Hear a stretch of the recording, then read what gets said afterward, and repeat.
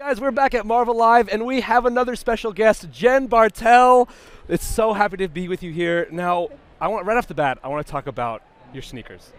You got to design Captain Marvel and Thanos sneakers for Adidas. Like, how, how do you even go about that? that one was uh, probably the fastest project that ever happened, and, really? and, you would think that it would have been in production for a really long time, but uh, basically, Footlocker approached me uh, and within like three weeks, the design was done and it was like off to production. Uh, so it was very, very strange, but really fun to work on. well, that answers the question why suddenly I was in line getting the sneakers Oh. and like, when did we announce this? Yeah, what? When was this happening? Right. no, but they're amazing. They're comfortable. I really do own a pa- pair of Oh the, the. Captain Marvel ones. you, they're thank you. great. and so for those out there who love your work and like love everything you do, you know, it's you don't just suddenly have a, a pair of sneakers. You don't just suddenly have a cover of a comic book. You know, how did you get your start in comics? Oh, uh, so I went to school for illustration, thinking that I was going to be like an editorial illustrator or I was going to do like children's books. Uh, and I think a lot of that was just because I didn't see a lot of people who look like me working within comics, because I've always been a fan. Uh, but it just didn't seem like a viable career path, and so I didn't really pursue it. And uh, it, when I graduated from school, it was like right at the peak of the recession. Perfect time. yeah. So I wasn't really getting any uh, illustration jobs either. And I think at that point I just kind of like given up and uh, I was working like a retail job.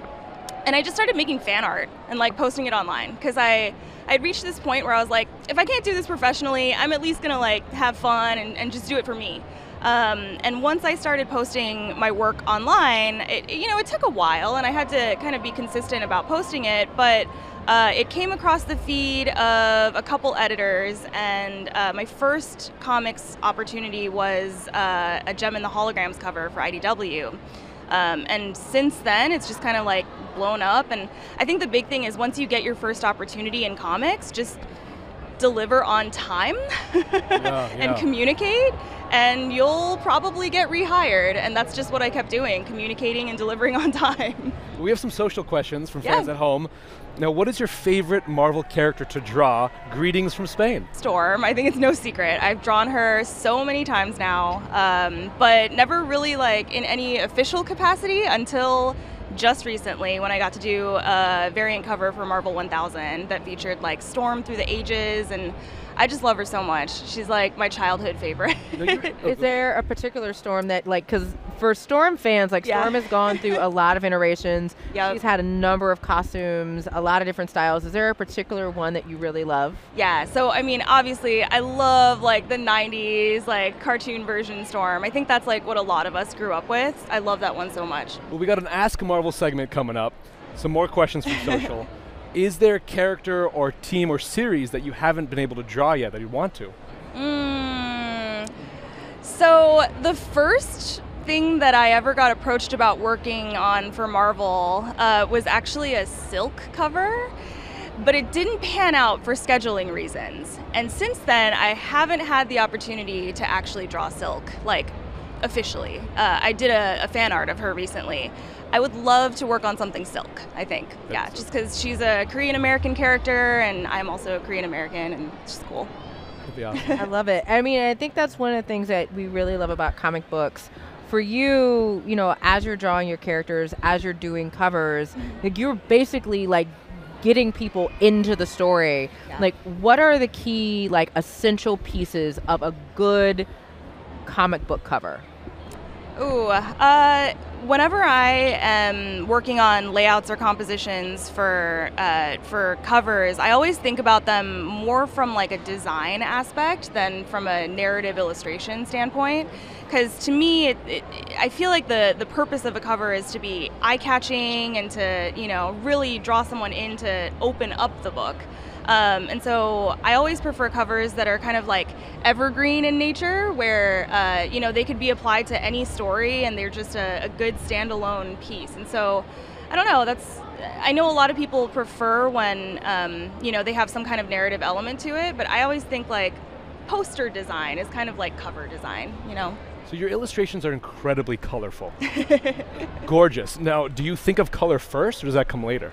Uh, I definitely am thinking about color when I'm sketching. Yeah, it's it's a big part of like how the composition works in general because like this without getting into like the nitty-gritty of like color theory where black meets white is going to be like the spot that people look at first. And if you're working in color, you you can use complementary colors to do that. So when I'm sketching something, that's the first thing I'm thinking of. That's awesome. I hope everyone wrote that down at home. One of the things I also love about you, and you mentioned Chris earlier, and I love the fact that, particularly within the Marvel Universe, a lot of artists know each other, they promote each other's work. Um, you promote a lot of upcoming artists, which I love. It's so it is so much fun following your Twitter just in general, but you know also you know your Tumblr and like so you you've got social media on pack. um, how did you like what was what was your motivation to start pushing other up and coming artists uh, through your social feeds? Yeah. Um, I feel like f- for me personally, uh, my career growth has happened so rapidly that it's been like I've gotten whiplash like every few months. I'm just like, what's happening? Uh, and when I finally realized that I had enough of a platform that like people were people were kind of paying attention to what I was saying, I felt like, well, here's an opportunity to highlight people that I think you know are deserving and should have more attention. And so um, yeah, I, I really wanted to at least be able to do that for some of my fellow artists. And I think a really big uh, influence was honestly Kelly Sue DeConnick when she came up with the Visible Women hashtag. I think um, I just looked at that and was like, I could be doing something like that in my daily life too. So I just like make it a point to try and uh, promote people as much as possible. awesome, Jen. Before we let you enjoy the con, Yeah. how can fans follow you and find your work? Oh yeah, so I am at Hey Jen Bartel on both Twitter and Instagram, and uh, my Tumblr doesn't really get updated, but it's just uh, it's just Jen Bartel on Tumblr.